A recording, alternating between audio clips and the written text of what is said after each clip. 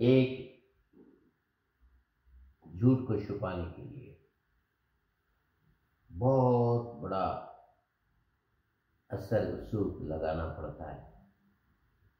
कितने कितने ऑफिसर्स को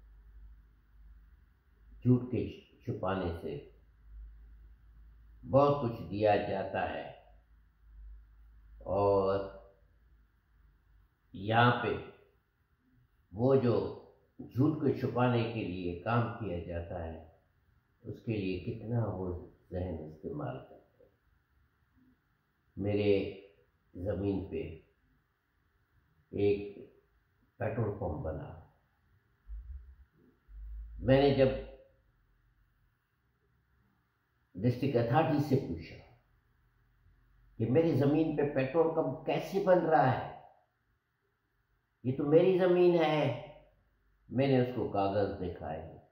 उन्होंने कागज़ देखे और सेटिस्फाई हो गए। कहने लगे कि हमें तो कोई एन नहीं दिए तो कहते कैसे पेट्रोल पंप बन रहा है? मैंने कहा, है, चल के देखो, पेट्रोल पंप बन रहा है। तो उन्होंने मुझे कहा कि, कागज़ देखो, हमारे पास उनकी एप्लीकेशन आई है लेकिन हमने उन्होंने उनको कोई भी एनओसी नहीं दी है। ये कौन बोल रहा था? ये डिस्ट्रिक्ट अथॉरिटी बोल रही थी। उस वक्त तो मैंने कहा कि मेहरबानी करके मुझे अपना फ़ाइल दिखाएँ।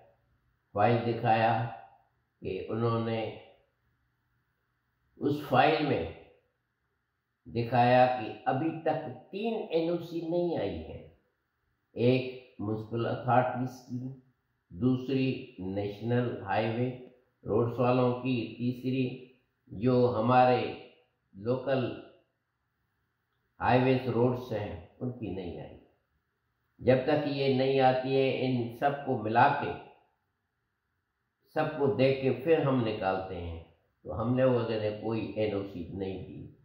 मैंने फिर जाकर इनको बताया इंसिस्ट किया कि नहीं, इनको पेट्रोल पंप बन रहा है और बन रहा था। उसके बाद जब उन्होंने लेटर लिखा कंपनी को, ये कंपनी ने कोई जवाब नहीं दिया और उनको कंपेल किया। कंपनी ने कि हम आपको एनजी गैस भी लगा के देंगे।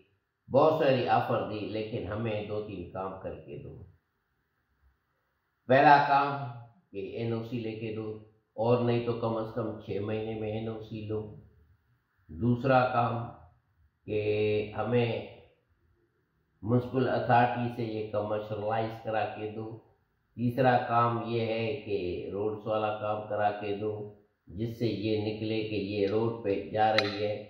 रोड पे जो गाड़ियाँ आती हैं इनका काम कर दो और इस किस्म की उनसे एम ओ यू बनाए जिसको मेमोरेंडम ऑफ़ अंडरस्टैंडिंग कहते हैं। जैसे उनसे मेमोरेंडम पे साइन कराई, बंदा समझ गया कि अब मेरे पास कोई हल नहीं है। सवाए इसके कि मैं किसी ऐसे असर उसूक वाले बंदे से इसको बेचूं जो कि खुद बेरोक्रेट हो। नेचुरल ये है।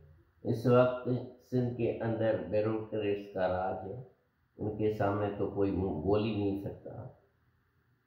और उस बेरोक्रेट के पास जब वो बेच दी अपनी ज़मीन तो उस बेरोक्रेट ने जाकर अपना कार्ड लगा के वो deputy chief inspector express Karachi के ऑफ़िस गया वहाँ से एक लेसन लिया है और वो शुरू हो गया। पेट्रोल पंप चलना शुरू हो गया। उसके बाद अमेंडेड करके पेट्रोल पंप को बढ़ाया, चल गया।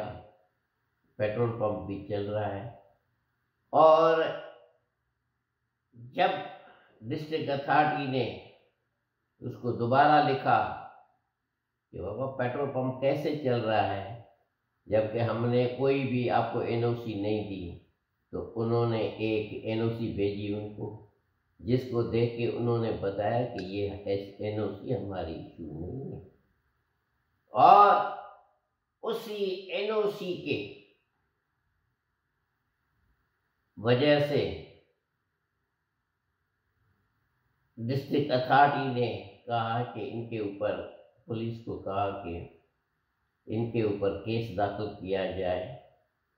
कंपनी को कहा जाए कि एनओसी झूठी है। अब मसला ये होता है कि जब बड़ा आदमी जाली कम करता है तो यहाँ पे एक अजीब सा सिस्टम है कि उसको कोई नहीं पकड़ता, क्योंकि बड़ा आदमी कोई ज़रूरत नहीं करता, कोई हिम्मत नहीं करता। ये तो ऐसा है जैसे अभी दो लड़कियों का कैसा किस्सा आया, जिन्होंने उन पे कोई भी किसी ने हिम्मत करके उस वक्त कुछ नहीं कहा। और जब एक रिपोर्ट आई है, तब जाकर कुछ राज खुल रहे हैं। ये भी इसी किस्म का मामला है। पूरे आज से ग्यारह बारह साल हो गए। हम दौड़ते रहे हैं कि ये एनओसी छूटी है, हम दौड़ते रहे हैं कि लेसन छूटा है। ये लेसन जो है इलीगली इशू किया गया है, क्योंकि एनओसी सच्ची नहीं है, लेकिन कोई भी असर नहीं हो रहा है। और अब वो सिविल कोर्ट के अंदर इस एनओसी का मामला है और हम ने दरख्वास्त दी थी जज साहबान को कि deputy chief inspector explosive Karachi को बुलाया जाए ताकि वो अपने ओरिजिनल डॉक्यूमेंट्स लाके कोर्ट को पेश करे। लेकिन उसको जब भी लेटर जाता है, कोई भी नहीं आता है। या तो लेटर उनके पास पहुँचता ही नहीं या वो नहीं आता है। अभी हमने उनको भेजा है लेटर, और अभी जो तारीख उसमें बताई गई है, वो है चौदह फरवरी 2022 देखते हैं कि ये जो डिप्टी चीफ इंस्पेक्टर है, ये एक्सप्लोसिव का, ये आके ओरिजिनल डॉक्यूमेंट्स पेश करता है या नहीं।